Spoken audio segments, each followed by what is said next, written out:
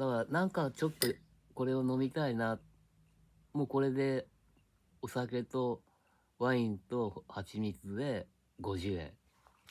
このかつ節とこれを、これが25円で、かつ節が5円かそこら10円、10円。だからお腹空いた時はね、これに、